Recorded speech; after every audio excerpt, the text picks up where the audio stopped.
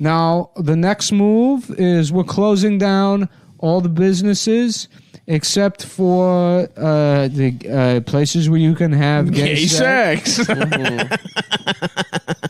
yes. We're reopening. Yes. We're reopening every store as FAG Schwartz, and they sell dildos now.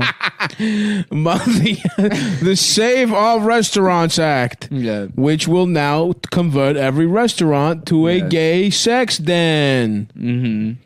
And I will go there. I will be the only customer. Yeah, it's called uh, funding all gov- good government organization training national No, no, no. Institution of,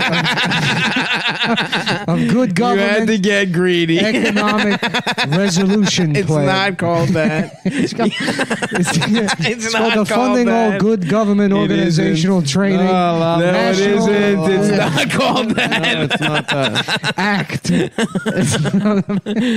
you couldn't do one or the other. You had to do both. It's- you had to get It- greedy. It's an all. It's a big tent policy we're doing no, it isn't. called the National No, Institute. you're just gay. you're not also. the National Institute of Good hard. Government and Economic oh, no, Reform no. for funding it all isn't. Yeah. for funding all government programs, Where's the P? Oh, funding all government programs, especially Now we're talking. New. Okay. Yeah, oh, penis. Um, inter. what do you mean penis? Who is this guy? I don't know, Angelo. Get him out of here! I don't know, Mr. sorry. Governor. This do you want guy, me to get him out of here? Or do you want him to suck your dick?